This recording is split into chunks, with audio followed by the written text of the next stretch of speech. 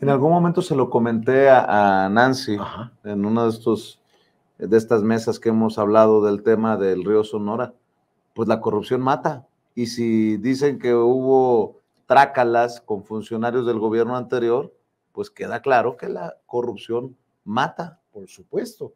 Y ahí habría que llevar a proceso penal a los funcionarios que recibieron el dinero, porque tampoco dudo, pero no fue para pagar indemnizaciones, ha de haber sido para sobornar y que no hiciera nada contra Grupo México, contra sus filiales involucradas, las empresas filiales de Grupo México involucradas en este accidente gravísimo, ¿no?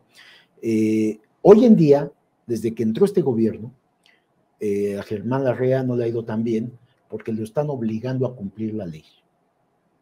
Pero aún así yo digo, es bastante benévolo, el presidente porque es esta denuncia penal que se ha presentado por la contaminación es precisamente porque no remediaron la contaminación y porque no indemnizaron a las víctimas. Eh, entonces, la denuncia penal, pues ahí está. Pero el presidente en una conferencia matutina, lo has de haber escuchado, dijo que si eh, se comprometía sin fallar, sin faltar a su compromiso de remediar la contaminación, de atender este problema grave y de indemnizar a las víctimas, entonces podían retirar la denuncia penal. Y a mí me parece que Germán Larrea debería de estar enfrentando, eh, como presidente del Grupo México, debería estar enfrentando a la autoridad este, por los delitos que se han cometido en este caso. Entonces, no hay eh, forma de que se considere que eh, se está cumpliendo cabalmente con esto. Eh, hay muchos, eh, muchos casos que en este sexenio se han presentado con Germán Larrea Vicente. Tenemos, se le quitó la concesión de, que se le había dado de vías férreas, 120 kilómetros, porque se empleó como utilidad pública para el transísmico, ¿no? el canal transísmico, este, para unir al Océano Pacífico con el Atlántico este, por medio de, de, transportación y una ruta comercial que va a beneficiar al país, eh, hasta a los pasajeros, etcétera, etcétera. Entonces, se le, se le, a cambio, él pedía eh, muchos miles de millones, 9.500 millones. No se le dio dinero y se le dio una ampliación de ocho años en otra concesión de, vías de, de, trenes. Se presenta otro caso en, del tren Maya, en donde tenía un contrato que no podía cumplir o iba a incumplir porque tenía que entregar en julio, en julio de, este año, y él dijo, no, no vamos a poder cumplir. Entonces el presidente dijo, hay que quitarle las, el contrato, rescindir el contrato y dárselo a la defensa, a la Secretaría de Defensa. Se le quita el contrato. Eh, Germán Larrea demanda, presenta demanda por esto contra el gobierno federal por 4 mil millones de pesos. Y finalmente en la negociación se le convence a Germán Larrea que no solamente no le van a pagar los 4 mil, que retira la demanda y además tiene que devolver 1.200 millones. Eso ya sucedió, ya se hizo. Este, ahora se ha dado otro, otro caso. En el caso de la, de la demanda que presenta eh, el gobierno federal por la contaminación, está en mesas de negociación en este momento, entonces puede resolverse ahí que yo digo que de cualquier forma la demanda penal, la denuncia penal tendría que continuar para los responsables de que hicieron esto, este, llevarlos a prisión, Vicente. Esto no puede quedar así. Eh, otro caso tiene que ver con el fisco, Vicente, que es importante.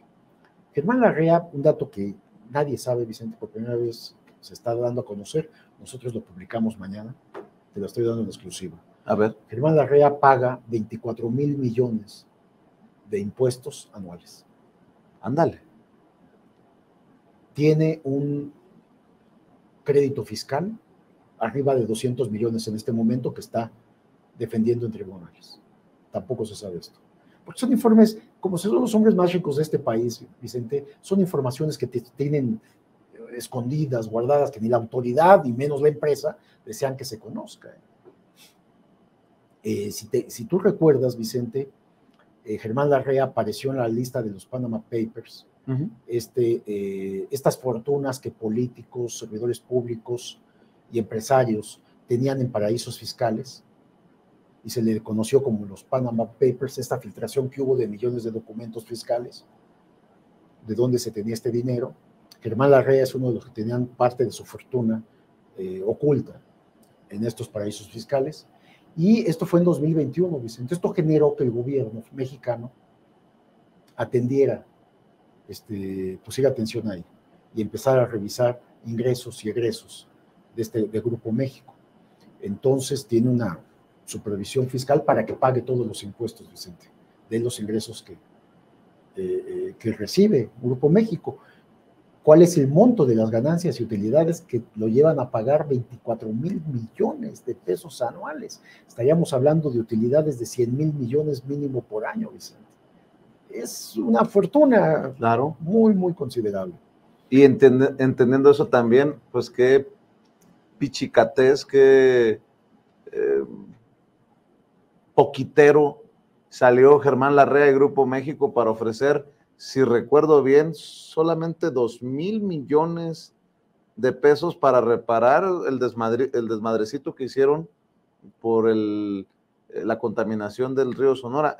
Estoy tratando de, acordar, de acordarme de las cifras sí. y nada más eh, en esta simulación e, ejercieron mil. ¿no? Exactamente, Vicente. Estamos hablando de ah, delitos muy graves que ahora con la denuncia penal pues ya puso a temblar a Germán Larrea porque vienen más denuncias penales, Vicente, eso es muy importante, por otras contaminaciones que sus propias empresas están cometiendo en otros estados de la República. Están contaminando, Vicente, y son parte de estos paraísos fiscales que Nancy Flores investigó y también ha expuesto aquí. Y estamos cruzando la información de, las empresas de Germán Larrea con estos infiernos eh, eh, ambientales, que así se le ha calificado en el CONACYT, porque es gravísimo. Entonces, podrían venir más denuncias penales, es decir, estás obligando a Germán Larrea a cumplir con la ley. Nada de contaminar, contaminación que está matando personas, niños, ancianos, mujeres. Y dices, por primera vez se le está poniendo un freno a este empresario acostumbrado en gobiernos corruptos del PRI del PAN Vicente a que hacía lo que quería.